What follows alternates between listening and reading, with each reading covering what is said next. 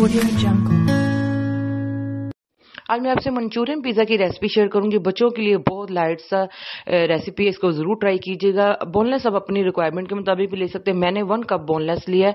उसके अंदर मैंने एक अंडा ऐड किया है और वन स्पून मैंने कॉर्नफ्लोर और वन स्पून मैंने मैदा ऐड किया उसमें थोड़ी सी काली मिर्च थोड़ा सा नमक और थोड़ी सी कुटी मिर्च ऐड करके मैंने इसको अच्छी तरह मिक्स कर लिया और थर्टी मिनट का रेस्ट दिया उसके बाद मैंने फुल गर्म ऑयल में इनको वन बाई वन फ्राई किया है। इनको आपने वन बाई वन ही फ्राई करना है। इनको इकट्ठा आप आपने इसके अंदर नहीं डालना।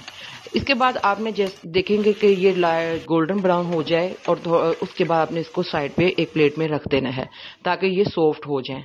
उसके बाद मैंने फ्राई पैन में दो टू स्पून ऑयल डालकर, उसमें थोड़ी सी कैप्सिकम थोड़ी सी अनियन डालकर, उसमें विनीगर डालकर मैंने इसको थोड़ा सा पकाया है, ताकि इसका जो सोते, जिसको कहते किया मैंने, इसको सोते करके मैंने उसके बाद बड़ा सा पेड़ा मैंने पिज़्ज़ा डो का लिया पिज़्ज़ा डो की रेसिपी मैंने यूट्यूब में शेयर की हुई है। आप मेरी यूट्यूब चैनल में जाके वो वीडियो देख सकते हैं।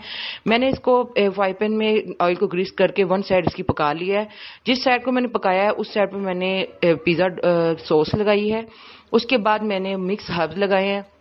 उसकी जो मैंने जो फ्राई की थी बोटियाँ वो लगाकर मैंने इसके अंदर कैप्सिकम अनियन और टमाटो लगाए हैं और उसके बाद मैंने पिज़्ज़ा चीज़ लगाकर इसके ऊपर ब्लैक ऑलिव लगा दिए हैं। मैंने इसके बाद इसको 10 मिनट का दम दिया है और 10 मिनट दम के बाद आप चेक कर सकते हैं आप जिस हिसाब से आपका दम लग सकता है। उसके ये देखिए इस तरह से ये पिज़्ज़ा तैयार हुआ है और ये बहुत यमी और टेस्टी है।